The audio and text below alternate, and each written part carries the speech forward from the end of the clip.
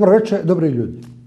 Položaj srpskog naroda u Crnoj Gori je iz dana u dan sve teži i teži, naročito u kontekstu najnovijih političkih dešavanja. Adekvatan gost na tu temu, a inače praktikujemo da e, naši gosti koji prvi put ili nakon toga dođu, da ih ponovo pozovemo na vrh 7-8 mjeseci godinu, da provjerimo dakle, one teme, prognoze i razgovore koje smo imali u tim emisijama, vidimo koliko smo bili u pravu i šta se u međuvremenu desilo. Dakle, adekvatan gost na ovu temu je predsjednik e, Srpskog nacionalnog savjeta, dr. Momčilo Vuksanović. Gospodine Vuksanoviću, evo, posle 7-8 mjeseci, evo nas ponovo na istom mjestu, što bi se reklo da prezentujemo jedan periodični izveštaj događanja u protekli 7-8 mjeseci na planu položaja srpskog naroda u Crnoj Gori. Dobrodošli u našu televiziju, našu i vašu. Bolje da sam šao. Hvala vam na pozivu. Evo, spreman sam da popričamo malo o svemu tome što je aktuelno u ovom trenutku za srpski narod u Crnoj Gori. Dobro, mi smo negdje u junu mjesecu ili julu imali zadnji razgovor. Dakle, tada smo dali jedan presjek stanja e, položaja srpskog naroda u Crnoj Gori. Danas, 7-8 mjeseci kasnije, bi se vjerojatno moglo reći da je to još gore i gore, ali prije ono što pređemo na konkretne probleme, možda e, da istaknemo par događaja ako pozitivnih, dakle, ono što je Srpski nacionalni savjet zaslužio svojim radom u prethodnom periodu. Dakle, vi ste, odnosno Srpski nacionalni savjet je dobitnik e, specijalne nagrade novosti za, za podvig godine. Treba da bude uručena narednih dana u Beogradu u kompaniji novosti. Pa, pa možda da nam objasnite o čemu se tu radi, zbog čega ste dobili tu specijalnu nagradu za, za najpametniji poduhad godine. Pa eto, to je, desilo se da su nas kandidovali među više stotina predloga i da e, je taj žiri odlučio da ta nagrada pripadne Srpskom nacionalnom savjetu i društvu srpskih domaćina koji su obnovili spomen obilježje na bojnoj njivi na Vojkovcu.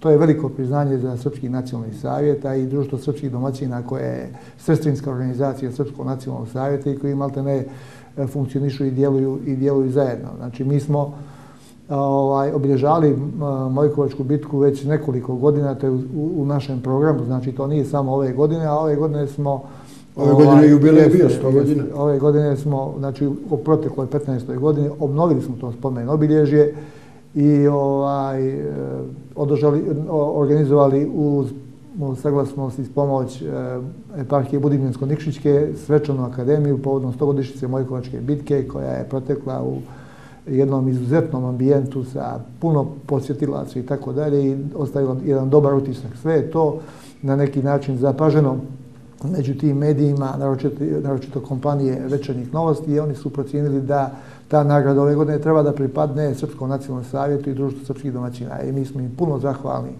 ovaj, oko toga. To je, čini mi se, potvrda onoga što je Srpski nacionalni savjet radio u, u proteklom vremenu i jedan posticaj da e, nastavimo e, sa aktivnostima na očuvanju e, srpskog identiteta u Crnoj Gori.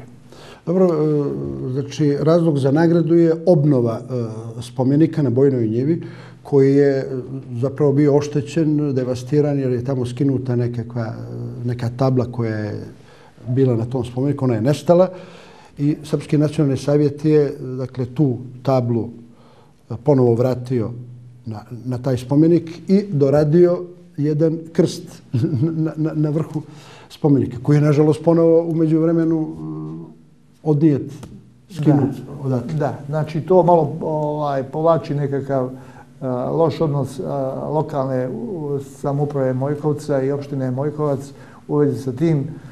Znači, više od godinu dana se čekalo na obnovu tog spomenika, a u toku je bila stogodišnica ovaj, od obilježavanja Mojkovačke bitke i mi kao krovna institucija srpskog naroda imali smo obavezu da brinemo o tim obilježima koje su važne za identitet srpskog naroda, a jedno od najvažnijih obilježe je taj, taj spomenik na Bojnoj njivi.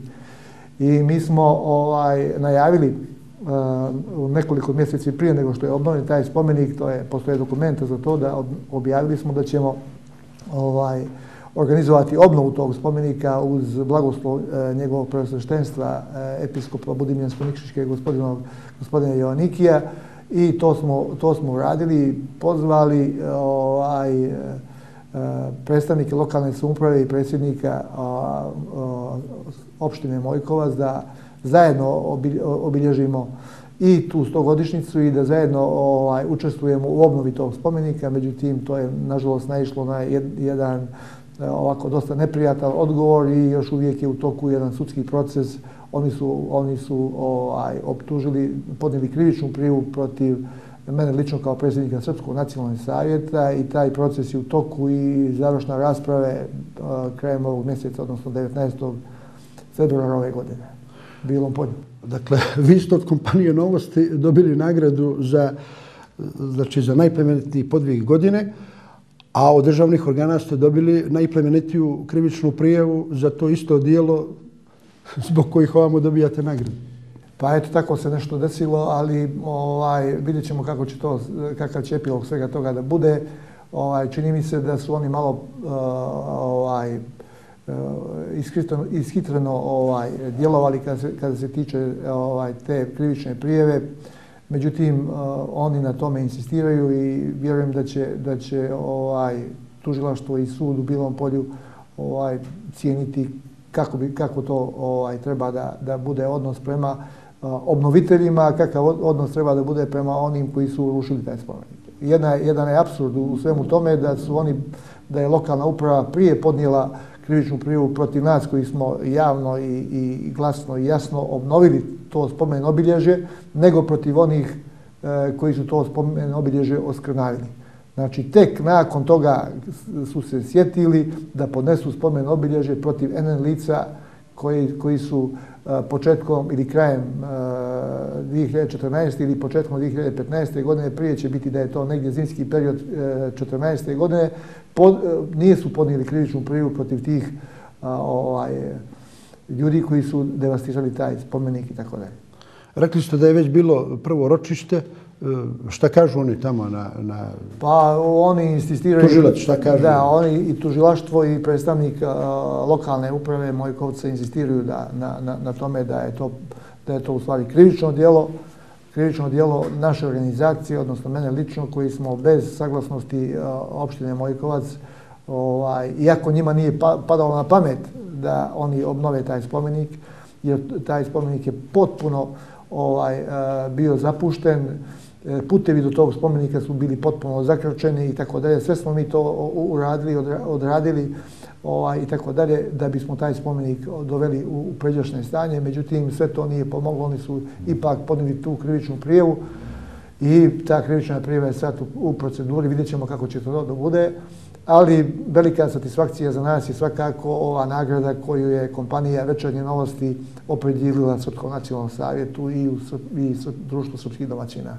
Dobro, i još jedna dobra vijest, e, da kažemo, u vezi aktivnosti Srpskog nacionalnog savjeta, to je inicijativa koja je otišla iz Srpskog nacionalnog savjeta e, za e, izradu Srpskog nacionalnog bukvara, dakle, koji bi, koji bi maltene bio primjenljiv na svim teritorijama gdje se nalaze Srbi i s obzirom da su rascijepani u mnoštvu država i da taj, taj prosveta je zapravo izbacila e, Srbe i, i e, srpsku istoriju i iz tih naučnih e, i prosvetnih programa. Da. Ovaj, znači, to je proizvod eh, jednog naučnog skupa koji je održan u, u, pljevljima, u pljevljima u organizaciji Srpskog nacionalnog savjeta Vuk, pod nazivom Vuk Karadžić u našem vremenu. Tu su okupljeni bili najeminentniji naučni radnici ovaj, eh, kada se tiče nauke o jeziku, religije, politikologije i tako dalje. I jednostavno na, na inicijativu i na, a, a, ovaj, u vezi sa, sa tom zaključnom deklaracijom i tako dalje donesen je zaključak da da se predloži da se a, za ukupno a, i srpsko jezičko područje predloži jedan jedinstveni bukvar E, da je to neophodno baš iz razloga što, što se sve to eliminisalo sa područja nastavnih, e, nastavnih programa i planova, naročito, e, naročito u Crnoj Gori. Jednostavno više u Crnoj Gori nema ni bukvara. Sada se to zove čigra. Nije više bukvar nego čigra i uglavnom to je nešto što potpuno odudara od onoga što je, što je srpski bukvar koji je prvi izrađen krajem 16. vijeka baš u Crnoj Gori i to je jednodušno prihvaćeno. Mi smo uputili zahtjeve najeminentnijim ovaj, srpskim kulturnim institucijama, srpskoj, e, Matici Srpskoj u Novom Sadu i Srpskoj književnoj zadruzi u Beogradu.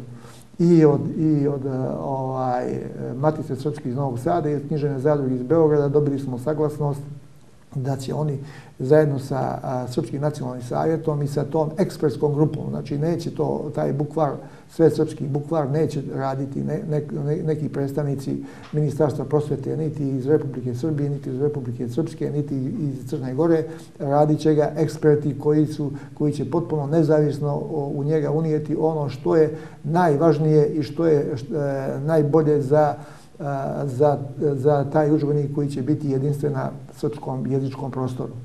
E, ostaje nam još e, ovaj saglasnost ovaj e, Srpske pravoslavne crkve i zajedno sa predstavnicima Matice Srpske iz Novog Sada i Srpske književne zadruge, Srpski nacionalni savjet će zatražiti od Srpske patrijašije i Srpske pravoslavne crkve blagoslovi, jer će u tom bukvaru biti i dio vjeronauke koji obavezno treba da, da pohađaju ovaj, djeca srpske nacionalnosti i tako dalje.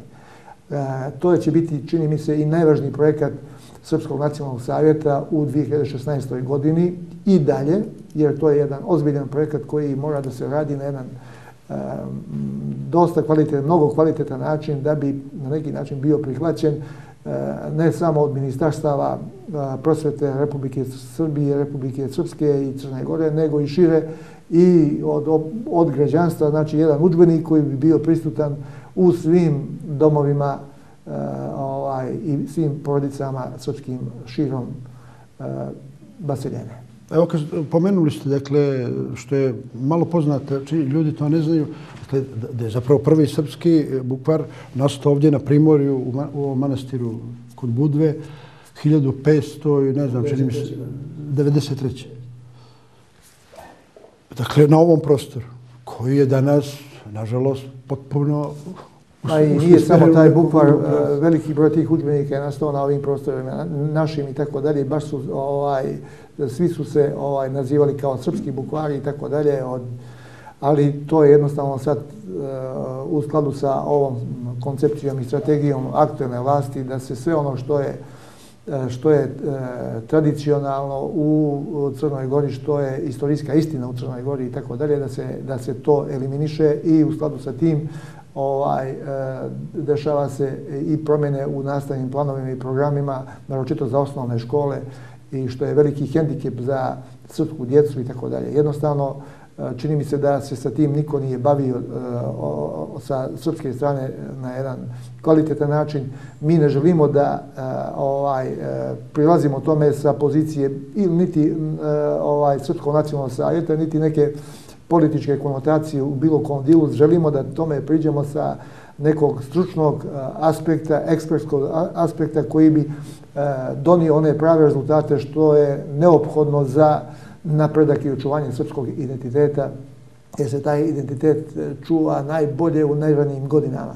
I mi tome moramo da priđemo na taj način i e, to su sagledali i Matica Srpska iz Novog Sada i Srpska književna zadruga, dvije, ponavljam, e, najznačajnije kulturne institucije e, srpskog naroda i tako dalje i jednostavno to je veliki uspjeh Srpskog nacionalnog savjeta koji je kroz taj naučni skup, znači Vuk Karadžić u našem vremenu, afirmisao potrebu Eh, prosvete srpske da se napravi jedan ovaj zajednički svesrpski srpski bukvar koji bi jednostavno ovaj bio eh, za jedinstven udžbenik. Ali to je samo čini mi se iako je to tek početak ovog posla to bi samo bio uh, početak jedne, jedne šire aktivnosti da se ne samo bukvar nego i svi drugi udžbenici važni za uh, očuvanje identiteta, kulture, tradicije, istorije i tako dalje srpskog naroda na na, na najširem prostoru a, počnu da se rade e, i da oni budu jedinstveni, znači jedinstveni za svu srpsku djecu, za sve srpske države i tako dalje i da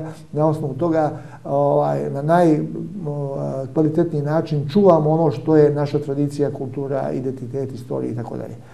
I e, čini mi se da, da je sve to na takav način i prihvaćeno, da se u nekom budućem vremenu, e, E, kada završimo ovaj projekat koji je zaista težak i, i, i obiman i tako dalje, da se krene u, u izradu novih učbenika, čitanki e, e, učbenika nacionalne istorije koji će da, koji će da ovaj, kažu pravu istinu o onome što je, što je ovaj srpska istorija na ovim prostorima.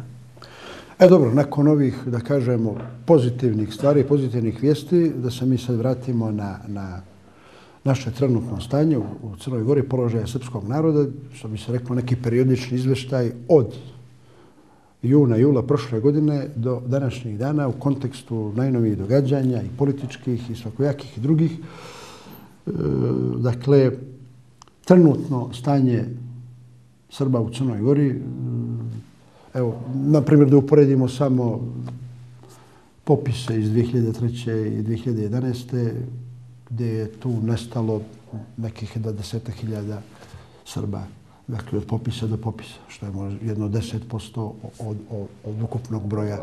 Da.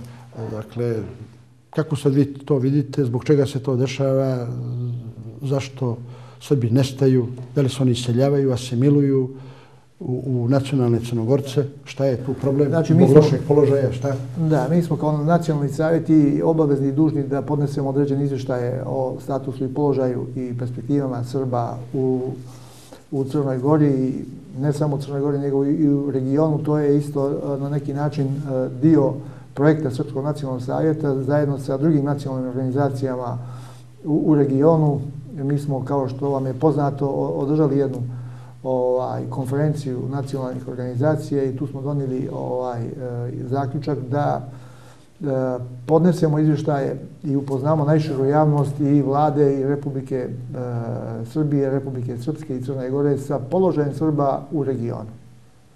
Znači, ono što, što je položaj perspektive Srba od Rumunije, Mađarske, Slovenije, Hrvatske, Republike Srpske, Makedonije, e, e Makedonije, ovaj, Crne Gore i Albanije, da jednostavno imamo to nešto, neko naše viđenje, viđenje nacionalnih organizacija, a ne viđenje e, ovaj e, diplomatskih predstavništava i onih ljudi koji jednostavno žele da po svaku cijenu e, prikažu nešto da je u nekakvoj dobroj ili idealnoj formi, a jednostavno nema nikakvog uticaja na, na, na, na pravo stanje stvari i tako dalje, niti, niti odražava pravo stanje stvari onako kako jeste.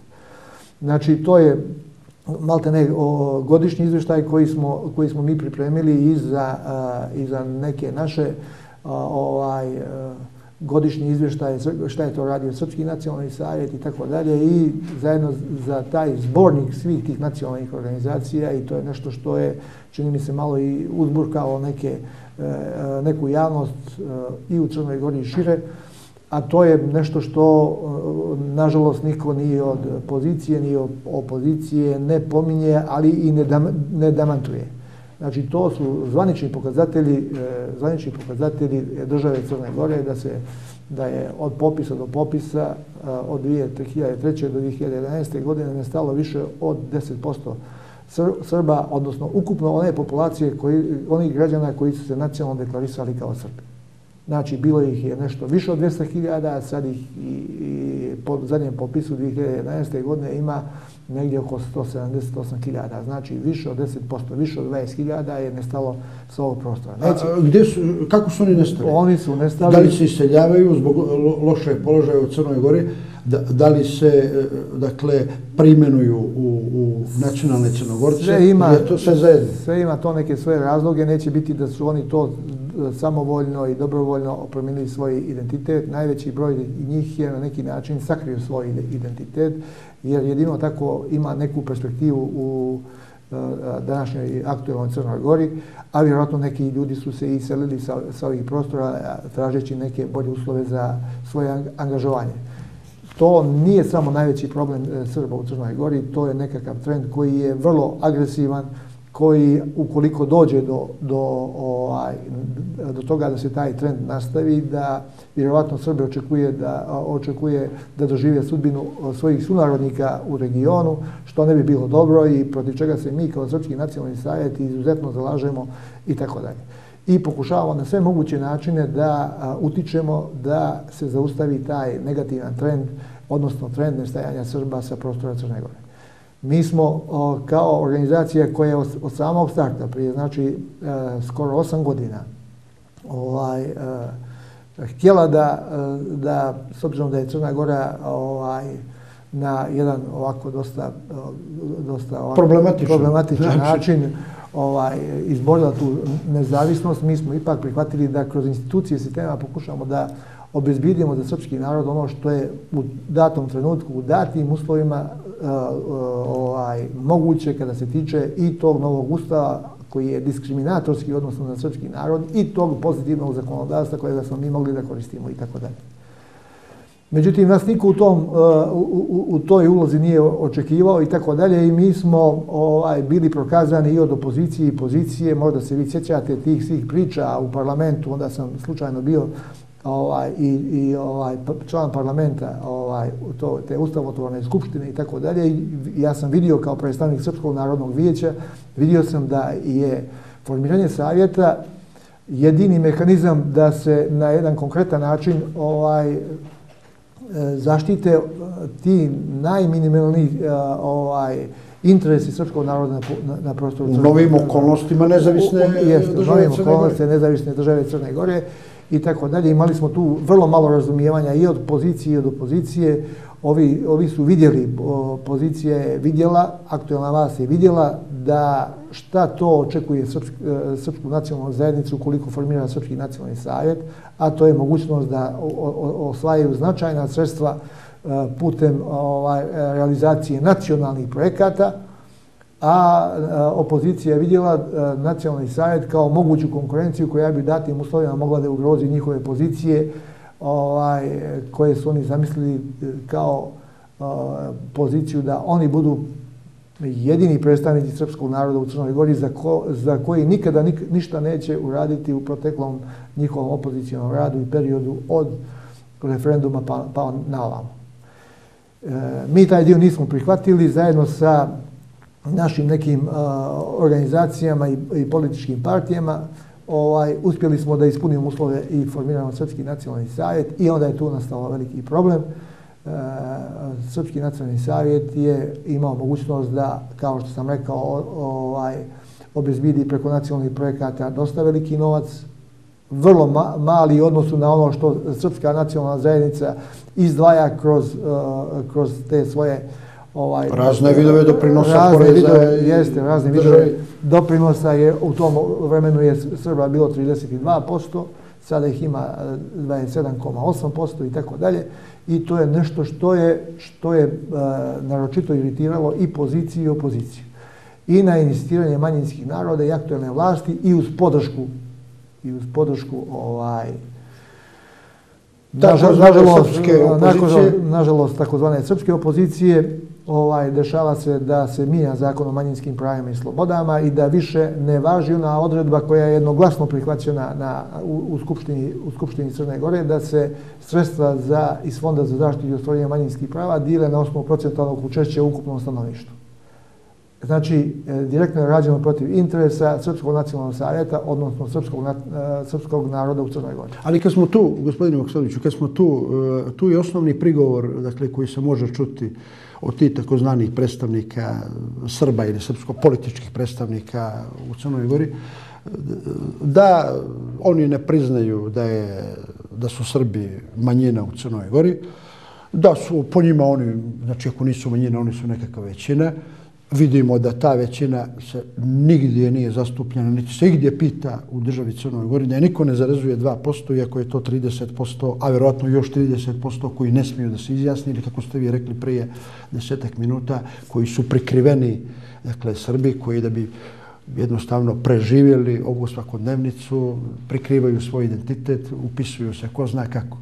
Ja kad sam razgovarao sa predstavnicima svih ovih ostalih nacionalnih zajednica, dakle, albanskom, bošnjačkom, muslimanskom, hrvatskom, oni su mi, svi njihovi predstavnici, politički i u nacionalnim savjetima, su mi rekli da se oni ne osjećaju manjinom, da oni nisu manjina i da oni, da u Crnoj Gori nema većine dakle da su u Crnoj Gori svi ili manjine ili sve većina i da oni jednostavno samo koriste, iako se nosećaju e, nacionalnom manjinom, jednostavno e, koriste mogućnosti e, ustava i zakona da dobiju neka sredstva za svoje zajednice da bi popravili položaj tih nacionalnih zajednica.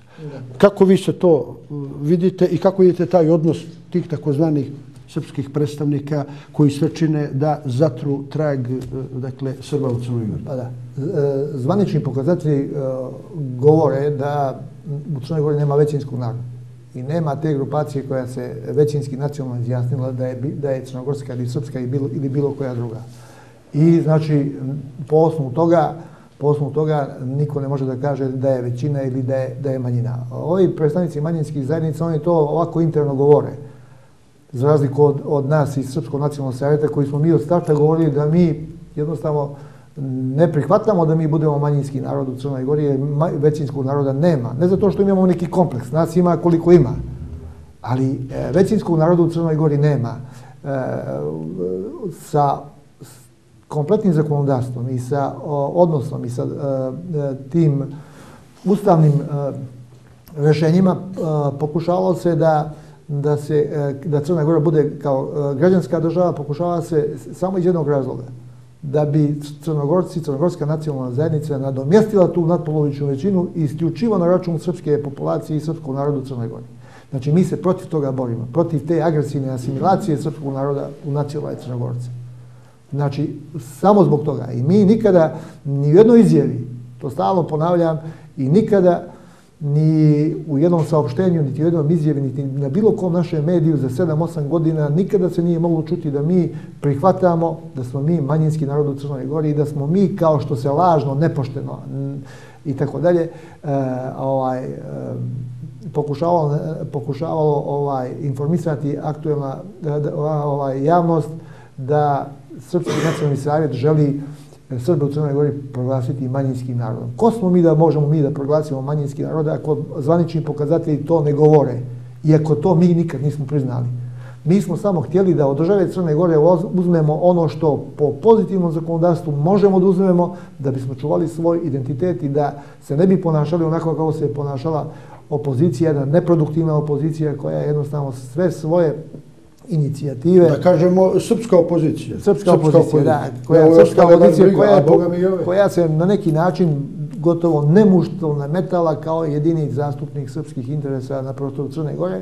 Iako, evo sad ponovo ponavljam da je ovaj, da za čitav taj period nije ama baš e, nikome stipendiju podila, kome nikome čokoladu kupila nije od ali, svega toga što do, se... Ali oni, ali oni kažu sljedeće. Dakle, mi ćemo uh, te probleme riješiti uh, kad dođemo na vlast. Dobro. I oni 15 godina ne mogu da dođu na vlast. I pitanje za koliko godina će dakle, ta takozvana srpska opozicija realno, doći na vlast. Realno, e, srpska opozicija realno ne može doći na vlast e, sa, sa tom drugom strukturom koja bi omogućila da Srbi promijene, ne, na, na kvalitetno promijene svoj položaj i tako dalje oni iako bi eventualno hipotetički ovaj, e, uzeli e, mogućnost da oni dođu na vlast zajedno sa nekim da drugim, učestvuju sa da nekim učestvuju sa nekim drugim određenim o, o, čini mi se da da bi pozicija Srba u, u svemu tome bila još teža i još na neki način drastičnije lošija nego što je. Na primjer, da uđu u vlast, evo, konkretno sa Rankom Krivokapićem, dakle, ne znam, i Dragom Lekićem, koje, kojima je pitanje Srba na da se, nažalost, i ne samo oni, nego i sve te srpske političke partije, nazovi po znacima navoda, srpske političke partije su se građanizovale. I oni, se, oni su podlegli odgromnom uticaju euroatlantskih organizacija i struktura i jednostavno i pozicija i opozicija, ali kompletno i pozicija i opozicija gdje gledaju uh, na najbolji mogući način da se dopadnu uh, tim stranim strukturama ne bili promijenili vlast u svoju korist. I to je neko, nešto što je potpuno legitimno, ali to je nešto što je što potpuno ne ide na ruku srpskom narodu. Ne donosi nikakvu korist Ne donosi nikakvu korist srpskom narodu i mi moramo da, da na neki način mijenjamo taj dio.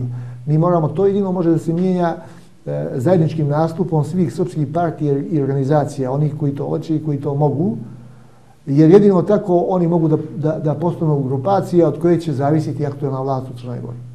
I rešenje za Srbiju u Crnoj Gori jeste da oni budu dio sistema, budu dio sistema, jer ako ne budu dio sistema, nemaju nikakvu perspektivu i jednostavno taj, taj proces asimilacije će još biti ovaj, agresivniji nego što je, što je danas i e, trend nestajanja Srba će biti brži i tako dalje. Ali oni kažu još ovaj put, ovaj put ćemo pobjediti, pa, ćemo, pa nismo ovaj put, pa ćemo sljedeći i to tako traje 15 godina. Dakle, ako bude još 15 godina, dakle, te jelove borbe tih takozvanih uh, srpskih partija u Crnoj Gori, ja ne znam, za 15 godina, još za 15 godina ja vjerujem da će procena Srba ovdje spasti na ja mislim, 10%. Ja mislim da srpskih partija u parlamentu nema i čini mi se da nema ni jednog poslanika koji zastupa interese srpskog naroda. Evo, ako je neko čuo od, od gledalaca ili ako ste vi čuli ovaj e, neku reakciju oko svega toga, evo, sve oni su doveli, do, doveli srpsko biračko tijelo da aplaudira poslanicima koji su, koji su i koncepcijski i na svaki način protiv onoga što je interes srpskog naroda. Vidjeli ste na ovim protestima, oni aplaudiraju Dritanu Abazoviću, aplaudiraju Džavidu Šaboviću i tako dalje, ljudima koji jednostavno ne vide probleme srpskog naroda, najblaže rečeno, u bilo kakvoj formi i, i nemaju nikakvu namjeru da nešto rade na, na, na tom planu. A očekuju, očekuju ne samo oni, nego i svi drugi. Znači, sad prije neki dan bio je, e, ovaj, imao sam razgovor sa jednim predstavnikom Demosa i tako dalje, i on kaže 78% e, ovaj, ukupne populacije, 78% ovaj, e, je e, srpske nacionalnosti koji, koji podržavaju demos i tako dalje. I šta taj demos radi sa, sa, sa, sa problemom srpskog naroda? Da li je nekad on to pomenuo i tako dalje i tako dalje. To je nešto što je, što je loše i što nije perspektiva a, ovaj, srpskog naroda u Crnoj Gori i tako. Dobro, u vašim izveštajima se često uh, može e, čuti definicija e, Srba nema od e, bjesne zajednice do diplomatije. Dakle, nema ih nigdje u strukturama društva, organizacije. To je u ovom vašem izveštaju. To se uvijek može čuti. Zašto Srba nigdje nema i, i ovaj, zbog čega se to dešava u, u, u Crnoj Gori? Pa eto, znači, mi smo, mi smo pokušali da, da stalno stavimo do znanja i najširoj srpskoj javnosti i najširoj javnosti u Crnoj Gori da je položaj Srba izuzetno težak, da su Srbi i diskriminisani i obespravljeni i poniženi i tako dalje i da nas nema, nigdje nas nema u bilo kakvim institucijama, niti od, od, od države, znači uh, od mjesne zajednice do diplomatije. Znači, to je nešto što je što je veliki problem Srba, E, mi ne možemo da afirmišemo svoje potrebe, mi ne možemo da afirmišemo svoje kvalitete, mi ne, nemamo mogućnost da budemo ravnopravni sa predstavnicima drugih nacionalnih zajednica. To je nešto što je veliki naš problem. I mi kao Srpski nacionalni savjet insistiramo na tome da Srbi u Crnoj Gori zauzmu odgovoriće mjesto ravnopravno sa svim drugim nacionalnim zajednicama, ne ni promil veći, veća prava nego što, što to imaju e, druge nacionalne zajednice. I mi to stalno ponavljamo. Ali da bismo mi to postigli, to mora da bude podržano uh, da, da mora da bude podržano u parlamentu. Nažalost, ponavljam, mi nemamo predstavnika srpskog naroda u parlamentu koji se bori iskreno i trajno istrajno za interese srpskog naroda, kao što to rade recimo Albanci, kao što to rade Bošnjaci, kao što to rade svi ostali. Znači, mi jednostavno tu mogućnost nemamo i mi tu mogućnost tražimo. I uh, krajnje je vrijeme da, da, da se Srbi sjete uh, E, svojih potreba i da, da ovaj, afirmišu ono što je njihov interes. To je veliki problem koji mi imamo. E, zaluđuju nas naši e, politički predstavnici koji za toliko godina za toliko godina nisu uspjeli ama baš ništa da doprinesu ovaj da doprinesu napretku ovaj, ovaj položaja srpskog naroda u Crnoj Gori. E, kad ste normalno proučavali, istraživali položaj srpskog naroda u Crnoj Gori, dakle, došli ste do određenih rezultata. Šta ti rezultati kazuju? Koliko je, dakle, e, građana koji se izjašnjavaju e, Srbima, Imate li vi neke procente? Koliko je njih zastupljeno u državnim organama, u državnim organima, upravama, policiji, sudstvu, diplomati? I rekli ste, što je logično, da ako se 30% izješava da su Srbi, makar sa toliko e, punimo budžet e, u državi Crnoj Gori. Koliko je tih e, predstavnika Srba u u ovim organima? Često su ta istraživanja vrlo problematična, čak i lažna i, i tako dalje. I to je nešto što je veliki problem, naročito kad to istražuje neko ko, je, ko ima tu nekakav svoj interes u svemu tome u prikazivanju određenih podataka i svega toga. Međutim, ovo što je, što je napisano u tom izvještaju, da je Srba u državnim institucijama i institucijama lokalne uprave od 0 do 7%, to su pokazatelji državnih institucija. Znači, pokazatelji Ministarstva za ljudska i manjinska prava i pokazatelji zaštitnika za ljudskih prava i slobode. Znači, postoji institucija gdje ima 0% Srba. Onih 7%, 6, 7%, 5, 7,5% to su oni Srbi koji su se zadržali u tim organizacijama, institucijama iz nekog ranijeg vremena i čekali samo penziju. To su znači zadnji ti ljudi koji, koji se nalazi u tim institucijama. I niko nema nikakvu mogućnost, ako ima tu 65-70% ljudi koji rade u budžetskim institucijama, gdje Srbi nemaju nikakvu mogućnost da, da ovaj dobiju zaposlenje, onda možete misliti kakva, kakva je perspektiva srpskog naroda na, na, na ovim prostorima. Ali da niko, osim Srpskog nacionalnog savjeta, ne potencira taj problem. Mi smo imajući to u vidu i imajući ustavnu mogućnost zagarantovanog, zagarantovane ravnomjernosti zastupljenosti u državnim institucijama i lokalnim samoupravi potpisali se upravo za, za kadrove sporazum o tom ravnomjernom zapošljavanju i tako dalje. I da li je iko zaposlen? Međutim, to je takva zloupotreba eh, da je to nevjerovatno. Oni su napravili takve, takvu proceduru, takve šeme, da jednostavno ne postoji nikakva mogućnost da se bilo ko od uh, ovih predstavnika srpske nacionalnosti na bilo koji način zaposli. Imao je, imao jedan slučaj sad prije, eh, prije možda jedno mjesec dana kada sam lično išao u upravu za kadrove da intervenišem oko toga da je, da je ovaj, jedna jedan kandidat e, srpske nacionalnosti sa prosječnom ocjenom na osnovnim studijama e, 9.62 i specijalističkim 9.78 konkurisao za neko radno mjesto u nekom ministarstvu i tako dalje. I lično sam pokazao sve te diplome i tako dalje. Međutim, oni su napravili takvu šemu da sad e, postoji neke, neke, neko interno testiranje nekih ljudi koji Kandidat. uopšte, kandidata nekih ljudi koji uopšte nemaju kvalifikacije za to. Znači, oni sa tim internim testiranjem jednostavno poništavaju sve ono što je školovanje, što je školovanje poništavaju sve one ocjene koje je taj kandidat dobio u toku četvrogodišnjeg ili petogodišnjeg studiranja na univerzitetu kod profesora, doktora, akademika i tako dalje i tako dalje. I jednostavno oni te testove jednostavno pokažu i upoznaju, upoznaju svoje kandidate za tim testovima one sigurne kandidate koji će biti njihovi i tako dalje i jednostavno svi ovi koji za koje procine da, da, da im nisu lojalni, oni, oni ih eliminišu. I to je razlog što smo mi donijeli odluku da vratimo taj sporazum i da izađemo iz tog sporazuma sa upravom za kadrove, što je, čini mi se, velika šteta i za nas, a veća će biti i za njih. To je nekakva naša, naša znači, stvarnost. Znači, razno razne šeme... To je naša stvarnost ali prepreke... Jeste, to je znači kad se tiče upravo za kadrove, kad se tiče recimo obrazovanja, prosvete, znači e, tu je stvar još gore, još gore ili, ili i takva kakva jeste. Znači predsjednik vlade postavlja ministra prosvete, ministra prosvete postavlja direktore osnovnih e, dekretom, dekre, direktore osnovnih srednjih škola i vrtića, ima veliki uticaj na visokoškolske uh, ustanove i tako dalje oni zapošljavaju vaspitačice, nastavnike i profesore po vrtićima, osnovnim i srednjim školama. I niko, ali niko, nema nikakvu šansu da na osnovu stručnih kvaliteta, procijeka ocjena ili bilo čega dođe i bude primjen na neko novo radno mjesto u prosvjeti i obrazovanju. Što je također ogromna opasnost za srpski narod, je jednostavno iz tih školskih programa i, i planova izbačeno je sve ono što je, što je ovaj, e, na neki način svjedočilo o tradicionalnom i stalnom prisustvu srpskog naroda na ovim prostorima i većinskom prisustvu i tako dalje. To je nešto što je, što je za nas najopasnije, što je nešto što nam e, potpuno ruši e, bilo kakvu koncepciju odbrane očuvanja identiteta.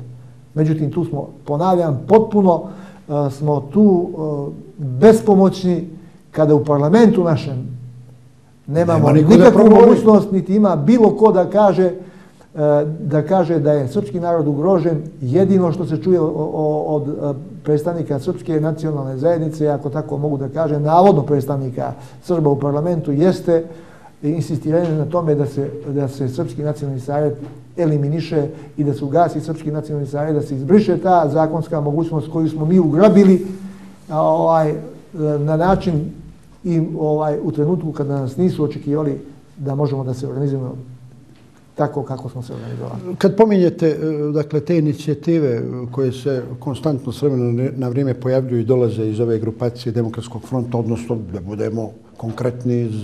Svih, no, nema, nema pa, tu razlike. Nema, ove srpske ne, demokratije, dakle, oni su glavni protivnici. Ove srpske SMP-a, ništa tu nema. Sve nema tu razlike. nema razlike. Tu do sad nije, nije bilo nikakve razlike. Ja sam bio prisutan kada je kada je ovaj predsjednik SMP-a, sadašnji predsjednik SMP-a, i na jednom sastanku ovaj, najužeg nek, nekog sastava i tako dalje. Milić, Srđe Milić. Da, da, da, kada je izjavio ja i moj prijatelj Andrija Mandit učinit ćemo sve da ugasimo Srpski nacionalni savjet. E, sad vjerovatno tu postoje određeni ljudi koji jednostavno ne prihvataju te, te, te stavove, koji vide da to što je radio Srpski nacionalni savjet je radio na korist srpskog naroda, a ne na štetu bilo koga. A naročito ne na štetu uh, predstavnika Srba u, u Crnoj Gori. A evo da ne budemo zluradi. Dakle, Milić je, rekao vam je to na nekom sastanku da će učiniti sve da, da ugasi Srpski nacionalni savjet. A on je ugasio sobstvenu partiju.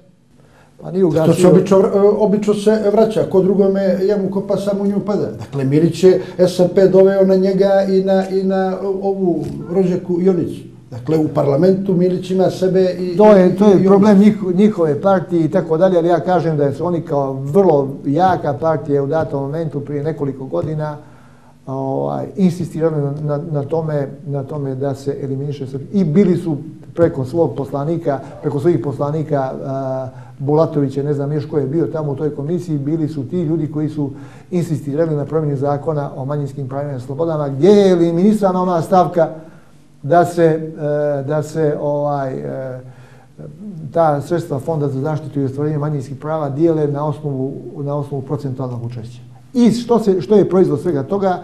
Proizvod je katastrofalni odnos prema srpskom narodu, tako da sada po broju ovaj, e, stanovnika u, Cr u Crnoj Gori sve nacionalne zajednice dobijaju po podacima Fonda za zaštitu i ostvarenje manjinskih prava dobiju od 5 do 10% više nego ovaj populacija Srba u Crnoj Gori za eh, ovaj realizaciju nacionalnih projekata. Ali evo upravo je stigo ponovo taj isti ili sličan amandman u, u Skupštinu na ovaj zakon o eh, manjinskim pravima, nacionalnim organizacijama, ne znam, fondu. Znači, njima nije bilo dovoljno. Poenta je u tome, to, to je velika priča i tako dalje. Znači, mi smo, kad smo ušli i formirali savjet, mi smo imali onda, stekli smo sva prava svih koji su formirali savjet i svih koji su, koji su na neki način koristili ono što je predviđeno Fondom za zaštitu i ostvarenje manjinskih prava i po ustavu. Mi smo imali pravo, pravo adekvatne zastupljenosti Srba u parlamentu. Jer ne može biti mala manjinska zajednica i malo veća manjinska zajednica. Ko je sad, koji je to subjektivitet?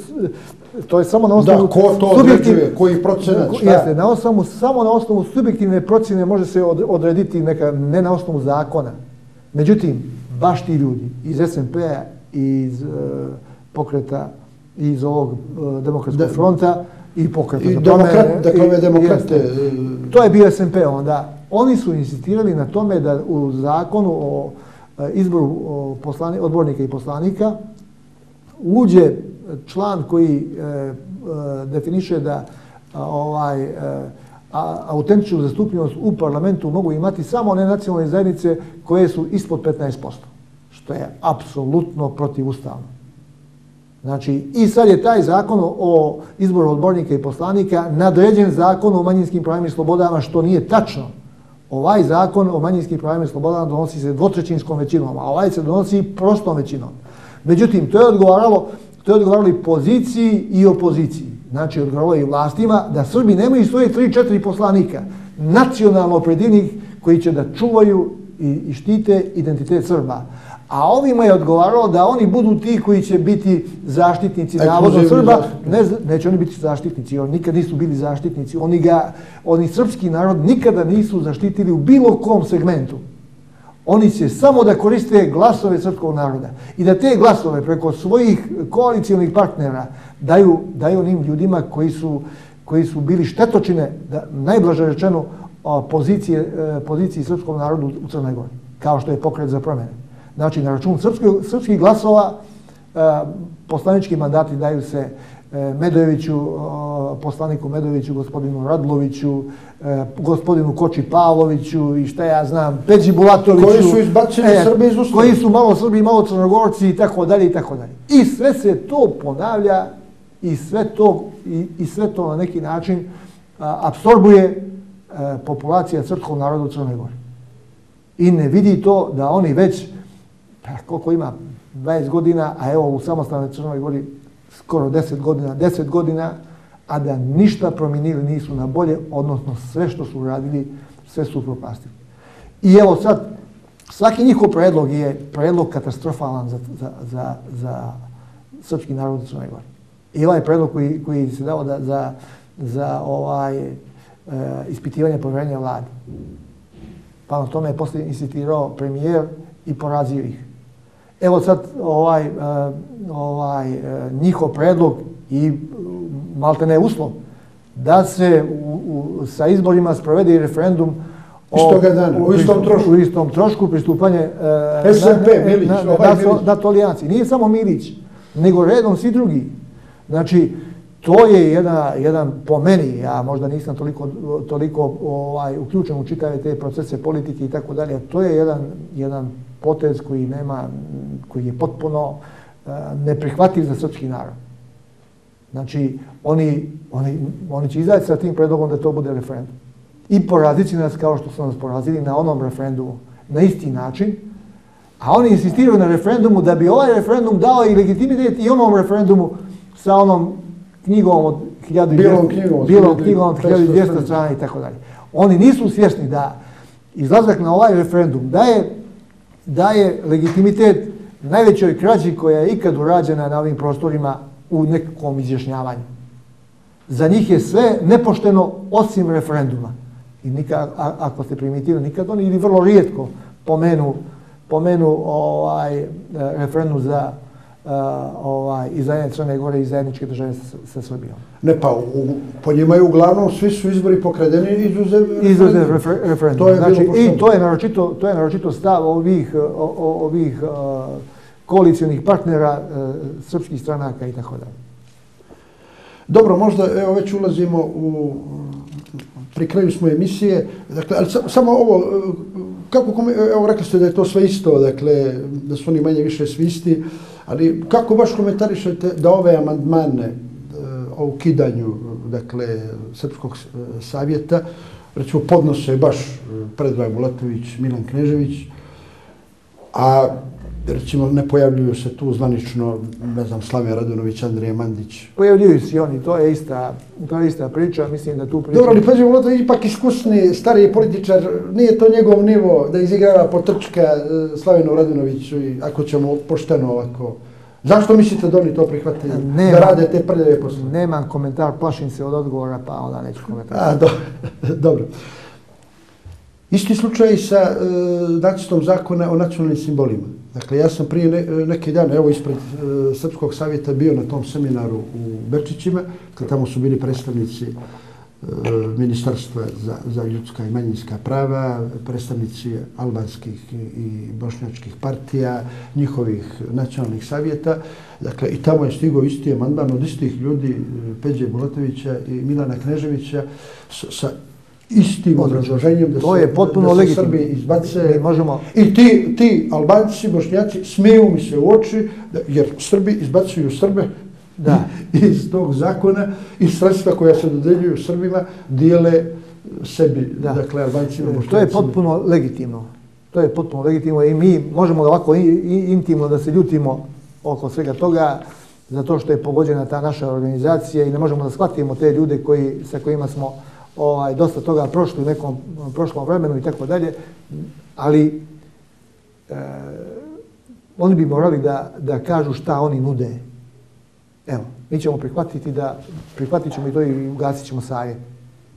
Ali oni onda neka kažu šta će biti sa srpskim narodom poslije toga kad se sajet ugasi. Znači, osim toga što će biti eliminisano sve ovo što smo mi stvorili, a nismo malo stvorili, stvorili smo puno, puno, nema organizacije na prostoru srpskih zemalja koja je stvorila to što je stvorio Srpski nacionalni savjet. Samo zahvaljujući, zahvaljujući tome što smo formirali Srpski nacionalni savjet i došli u mogućnost da koristimo ta sredstva za realizaciju projekata, projekata za očuvanje identiteta Srba na prostoru Crne Gore. E sad, ako oni nas ubijede u taj dio, da oni mogu bolje, mi, ćemo, mi smo spremni istog trenutka, to nije ponuda današnja, što je ponuda evo, nekoliko godina, ako oni nas ubijede da će Srbima biti bolje, mi ćemo sve ovo da im ostupimo. Ovo nije e, organizacija koja je stvorila to za nekoga pojedinca. Ovo nije dnevna, dnevna, dnevna novina dan koja je otela od Socialističke narodne partije i srpskog naroda ono što je otela. Ovo je organizacija koja radi za interese srpskog naroda u Crnoj Gori i ovo će da ostavi srpskom narodu u Crnoj Gori ako bude imala kome. I ako oni vide bolju perspektivu srpskom narodu, mi smo spremni odmah da im ovo ustupimo, ali oni da se bore na jedan korektan, legitiman i pravedan način i istrajan način za poziciju srpskog naroda u Crnoj Gori. A ne da mi svake pet godina da nas ne staje po 10, 15, 20% i tako dalje i tako dalje. Mi to ne možemo da gledamo, da nemamo poslanika u parlamentu koji može da kaže čekajte malo, nisu baš četnici sve ono što je najgore bilo u, u proteklom ratu i bilo je zločina i sa jedne i sa druge strane i tako dalje, nego ćute da ne bi na neki način uznemirili ovaj, e, ove iz Brisela, ove iz, Brisela, iz Brisela, ove, ove e, predstavnike tih euroatlantskih organizacija, od kojih čekaju naklonost ne bili bili njihovi favoriti za promjenu vlasti. E, to nije Srpski nacionalni savjet. Srpski nacionalni savjet je organizacija koja se iskreno zalaže uh, ovaj, za očuvanje identiteta srpskog naroda i koja nije pod ničijom kontrolom ni domaće, ni srpske, ni, ni opozicijone, ni pozicione vlasti. Što verovatno njih najviše i boli. I što ih boli, verovatno, jer mi da jesmo, mi bismo daleko uh, funkcionisali u boljim uslovima nego što sad funkcioniše. Dobro, još jedno pitanje, e, dakle, odnos, odnos, e, vidim da se tu često žalite i vi kao predsjednik dakle, ove organizacije, a i to će mnogi drugi građani uočavaju, dakle, odnos Srbije, dakle, prema Srbima u Crnoj Gori, ili bolje rečeno, odnos vlasti u Srbiji, aktuelnih vlasti, koji čini se, pa bogom, skoro da nikad gori nije bio prema, prema pitanjima Srba u Crnoj Gori, gdje, gdje praktično oni ne smiju, ne smiju ni da pitaju o položaju e, Srba u Crnoj Gori, a aktuelni crnogorski režim. Kako, kako vi to vidite i zašto je to tako? Ja, da vam kažem, meni je to neprihvatljivo, neshvatljivo i tako dalje, ali pokušavam da, da to na neki način razumijem da su da je ta, to rukovodstvo sad, sadašnje, sadašnja vlast u Srbiji pod nekom uh, monitoringu. Jeste, nešto, nešto, se, nešto se dešava. Ne mogu da sad taj da, da, da potpuno izdefinišem sve to. A, očekivao sam da ne može neka nova, nova vlast u Srbiji biti gora od one prethodne žute i tako dalje ali čini mi se da, da je ona vlast preko nekih svojih ljudi, organizacija, ambasade i tako dalje, vodila više računa oko svega toga što, što se tu dešava i tako dalje i pomagala određene organizacije. Ja kažem, sve što se stvorilo u Crnoj Gori, a nosi neki srpski prefiks, stvorilo je, stvorilo je srpski nacionalni savjet. Gotovo sve. Ne mogu da kažem sve, ali gotovo sve od Matice Srpske, od Srpske televizije, od Srpskog radija, od Srpske knjižene zadruge, od, šta ja znam, pomoći stipendiranja i tako dalje i tako redom. I tako. Novine radio, Novine porta, radio, knjižena, porta, zadruga. knjižena zadruga, ogromni broj nagrada, ogromni broj priznanja i tako dalje, komunikacija sa nacionalnim organizacijama i sve ostalo, sve što smo, sve smo to mi radili i tako dalje. I nikakav kontakt, a da nikakav kontakt, sa, sa kontakt, državom Srbije. Kontakt sa državom Srbije nismo uspostavili. Ja uh, i mi u, u Srpskom nacionalnom savjetu kad smo uh, Eh, razmišljali i formirali ovu televiziju, srpsku televiziju koja je na sreću napreduje do kada će, vidjet ćemo i tako dalje. Ne samo uh, televizija nego i, i drugi mediji. Očekivali smo da će, da će u Srbiji biti oduševljeni kad čuju da u Crnoj Gori postoji srpska televizija. E sad ako vam ja kažem da za ove šest godina, gotovo šest godina od srpske televizije nismo dobili ni jedan crtani film, vi ćete reći da, da li je to moguće. E to je nešto. A mi mislimo, mi mislimo da taj javni servis nije samo servis srbijanaca i, Repu, i, i Republike Srbije. I mi smo dio srpskog naroda. Mi smo dio srpskog naroda, a država Srbije je država srpskog i srpskog naroda odnosno država srpskog naroda. I mi na sve to imamo pravo. I grijeh je nepošteni odnos da oni ne uh, vode računa o tome što je interes, a najveći interes srpskog naroda u Crnoj Gori jesu kvalitetni mediji. I jedinstvo ovaj, srpskih političkih i drugih subjekata na očuvanju srpskog identiteta. Ali kako vi recimo gledate na, na, na sljedeće činjenice? Dakle, vlada Republike Srbije dodjeljuje donacije, evo recimo, Srebrenici 7 miliona eura za, ne znam, izgradnju vrtića, škola i tako dalje. Pet, valja, pet. Pa, pet, šest, sedam. Da. E, izbjeglice iz Sirije dobijaju donaciju od vlade Srbije, brinu se o njima, kako se dočekaju na graničnom prelazu dok se ne isprate na drugome dakle da, da ovaj dobiju hranu, vodu, medicinski tretman i tako dalje, razno razne donacije, ne znam, razno raznim organizacijama iz okruženja. A vama ništa, dakle savjet u Crnoj Gori ništa.